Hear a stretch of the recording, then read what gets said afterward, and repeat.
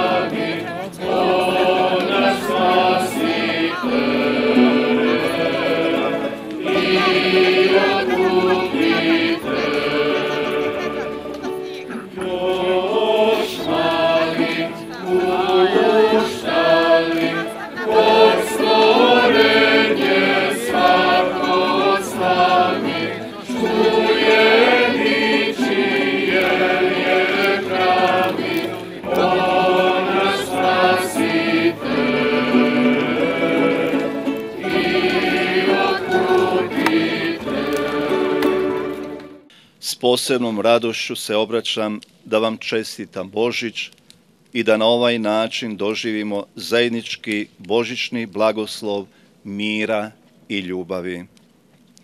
Božić je blagdan mira i ljubavi za kojim toliko željno težimo.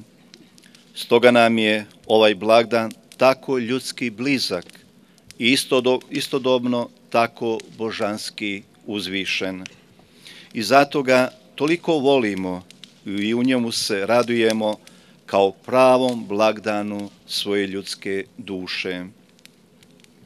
Kristovo rođenje možemo doživjeti danas više nego prije, jer ljudi trebaju mira i ljubavi u ovom našem svijetu kao jedini put za očuvanje i izgradnju ljudskog života a ovogodišnje slavljenje Božića prožeto je osjećajima nemira i nesigurnosti zbog svega onoga što doživljavamo oko nas u zadnje vrijeme, teškog ekonomskog, političkog, socijalnog i kulturnog stanja u kojem živimo.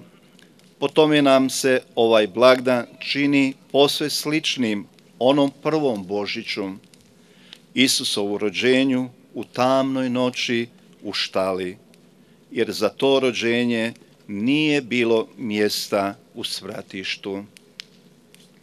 I danas za mnoge nam nema mjesta u njihovoj domovini i zato odlaze, iseljavaju cijele obitelji. Mnogo je majki i očeva i djece koji ovog Božića neće osjetiti ljepotu i toplinu Božićnog zajedništva. Svjetlo onoga prvog Božića nije prestalo obasjavati noćnu tamu svih kasnijih povijesnih zbivanja svijeta. Zato smo uvjereni da je nemoguće ugasiti to svjetlo i u ovoj našoj balkanskoj krčmi kako nazva Krleža, ovo svjetlo gori u srcima mnogih ljudi, ne samo kršćana, nego i svih oni koji traže istinu i ljubav, pravdu i slobodu, mir i dobro.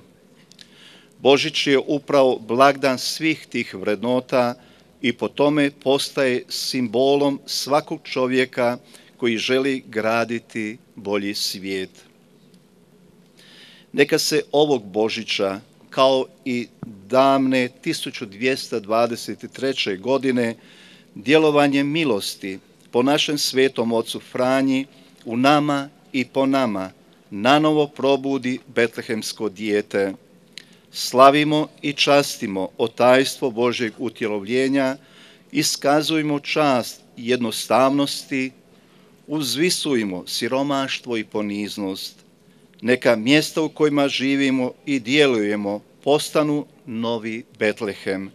Neka nas blagdan Božića prožme svojim duhom mira i ljubavi. U tom duhu želim svima vama i vašima Čestit Božić i sveto porođenje Isusovo. Radujte